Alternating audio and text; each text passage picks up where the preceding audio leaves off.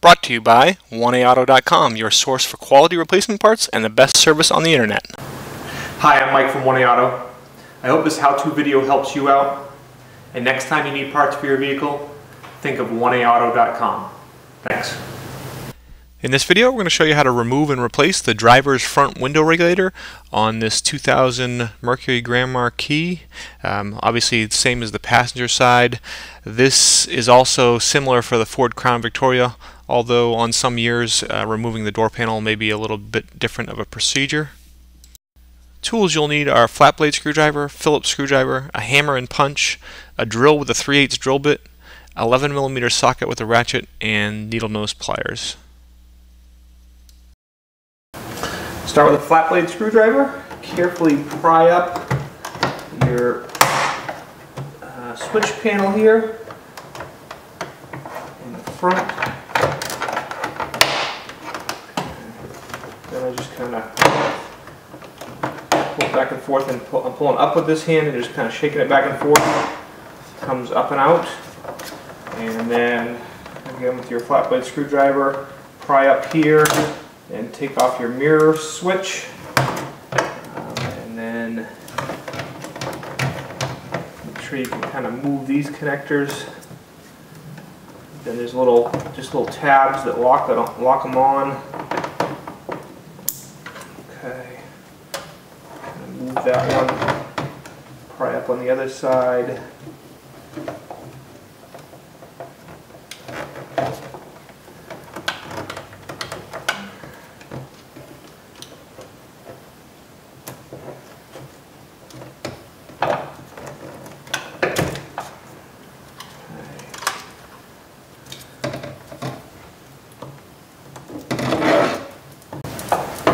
pry out down here and pull out on this connector to get it started. Pull my finger on this one. Okay, there. And just carefully go in and use just little caps. Pry that one out. If you're going from the bottom, if you do scratch something, more difficult to see. Okay, then right here, put your screwdriver in up top. You can actually see a little space where the screwdriver goes, and pry this bezel out.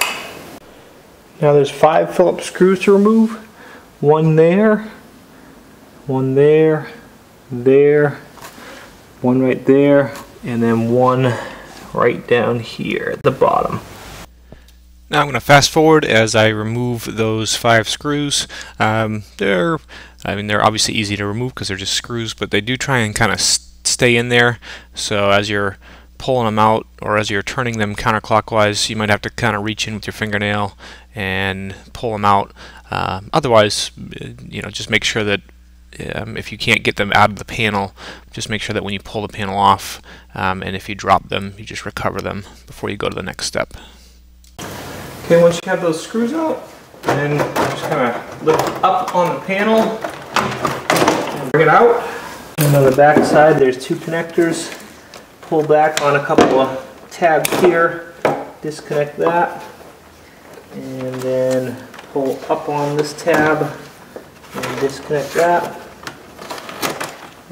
your door panel's off. I'm going to fast forward here as I do some additional prep. Uh, you have to remove the speaker, which is just three Phillips screws. Uh, then you pull the speaker out, and there's a connector on the back. You just push a tab and disconnect it. Uh, then there's also a small junction block down below that's just held on with one Phillips screw. Remove that and let that hang down. And then slowly pull uh, your water shield down. Be careful not to rip or tear it. Um, you do have to pull it out from the door handle and back and out of your way.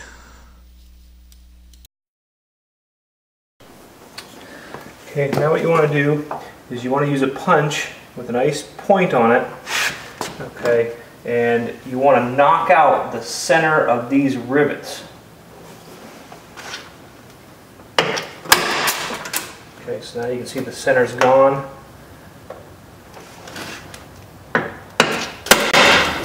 And just fast forward as I do that last one, and then there's two down lower on the door that you want to remove as well. These are cable activated regulators, and actually mine works fine. So what I'm going to do is when your regulator goes, your cable will basically snap, and you'll when you press the um, button, you'll hear like a grinding. You'll hear the motor working, and sometimes you'll hear a grinding noise, or you'll just hear the motor work, but the window doesn't move. So I'm going to turn my key on, and like I said, my regulator works fine, so I'm going to move it up. If you had a broken window regulator, you would be able to move it by hand at this point. So that's what you want to do. You want to move it by hand to the same position I'm moving mine to.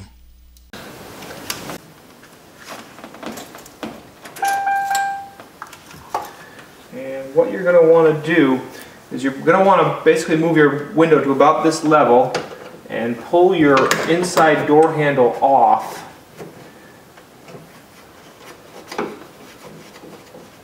Taking the screw out, move the handle forward, pull it out, okay, and then just kind of pull it up and twist it forward. And what you see is you have two more rivets holding the window. So you'll want to, just like you did with the other you want to use the same process and knock the centers of the rivets out and then drill them out.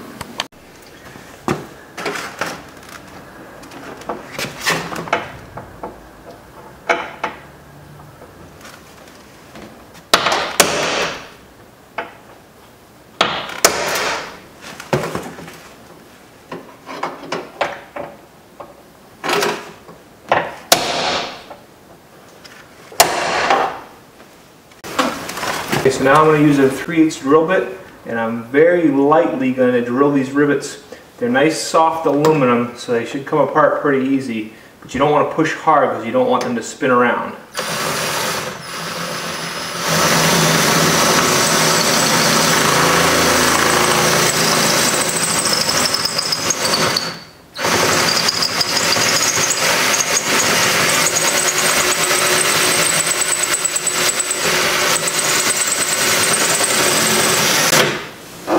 Rivets you have to drill out and all. You see I'm doing the two um, for the uh, window to the regulator as well as the other ones uh, that hold the regulator to the door.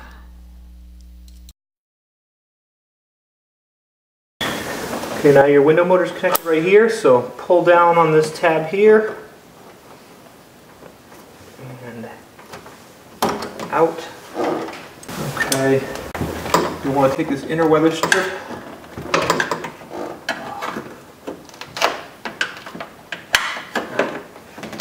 pry it up.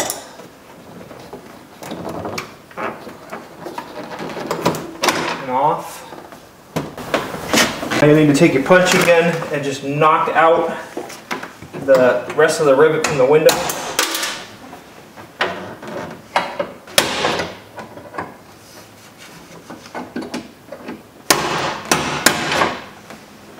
Okay. What I do is, once you get it loose from your regulator, let it down, let your window down. Okay, let the front go down in, and pull the back one out. I'm just gonna, kind of want to get, get, it wants to get caught on the regulator.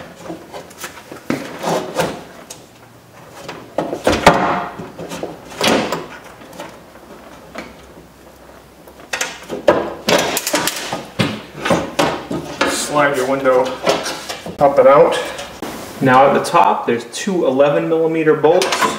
Use a socket and ratchet. Now just speed up here as I remove those two 11 millimeter nuts. You have those bolts out. Pull your regulator back out. bring the whole assembly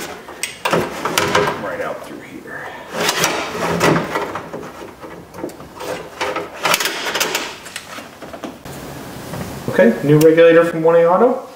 Put it right in. Reach through.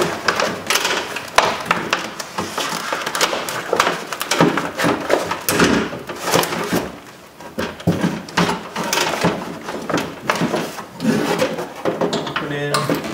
Okay, and then up here, just kind of looking in and hang these two studs so they come right through here.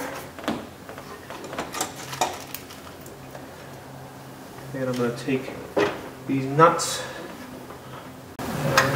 Now fast forward here as I just uh, take those nuts and start them on with my fingers and kind of get them finger tight to hold things in place. Okay, now we're going to take so some hardware store bought uh, little screws, a washer, and a nut. Okay, at the bottom, put those in. Washer on the back side.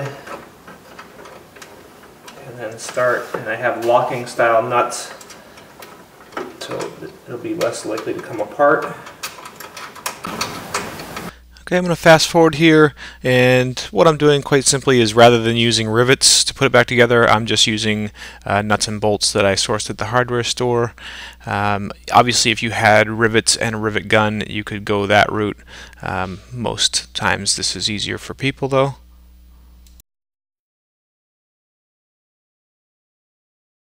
Now before we tighten it up, pull our lead around pull it through.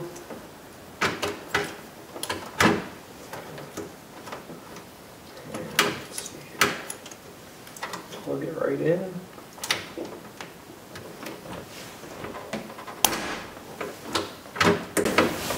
Now I'm using a wrench on the back side and just a Phillips screwdriver on the front side and tighten these up.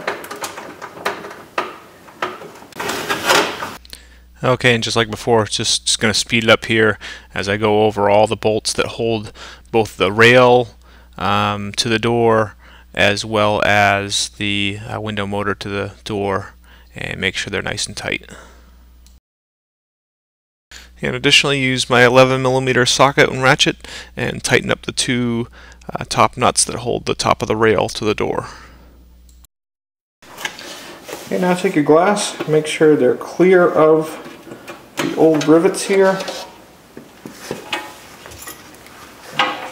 Okay, now take your glass, make sure that there's no remnants of the old rivets.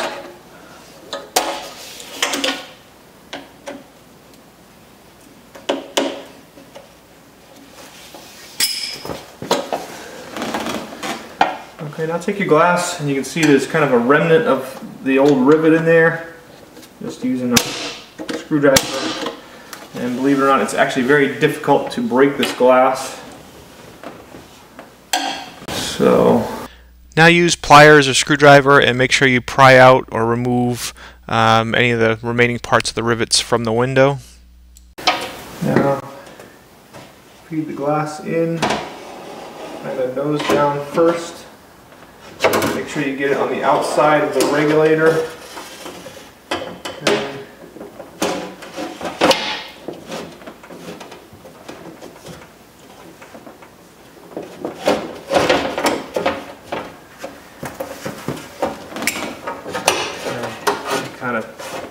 kind in, twist it up in place. Okay, I'm looking right through the speaker hole here. Make sure that the nose gets into the channel correctly. Okay, and then look back here. Make sure that the rear of the window goes into the channel correctly. Okay, slide it right up into place so that you can put bolts right through here. Okay, now what you're going to need is a couple of longer bolts, again, right from the hardware store. And sorry, I'm installing these right through the regulator and into the window.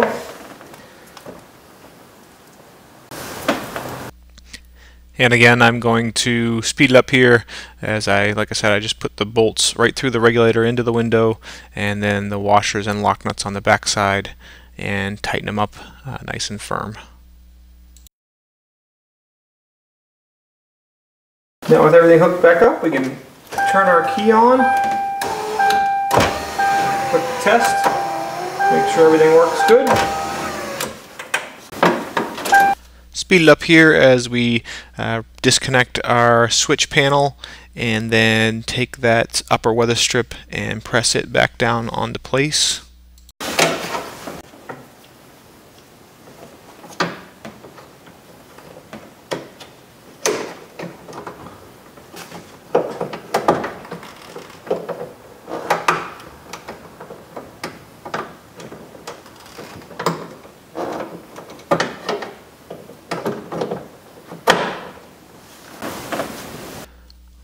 And after putting our inner door handle in and sliding back into place, put the screw back in and then put your water shield back up in place. Remember to feed uh, the wiring harnesses through.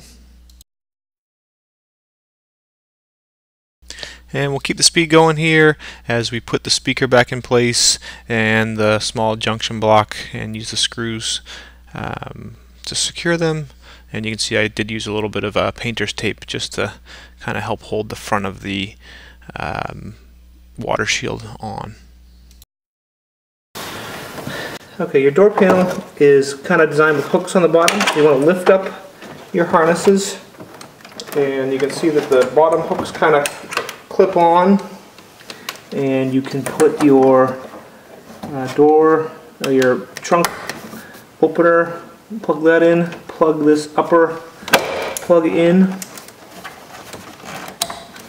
Okay, lift your door panel up. Bring door panel up. Make sure that these harnesses are coming up through. And make sure your door lock comes through. Lift the panel up a little bit. And then it just kind of slides right down on.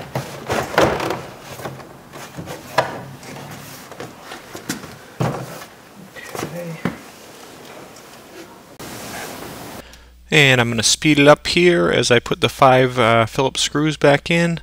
Uh, the long ones go through the panel, the shorter ones go through that door pull. Uh, and just another tip, if you have trouble getting one in, um, you might want to take the panel back off and on some of them there's kind of clips in behind and sometimes those clips can get shifted which makes it hard to get the screws in. Uh, but they should go all pretty much go right in. Okay, reconnect our harness leads and our mirror switch. Okay. Then just kind of work this right down in. Push it against the door and down in.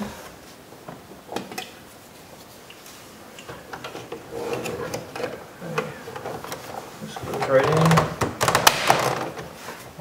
place and these go back in place.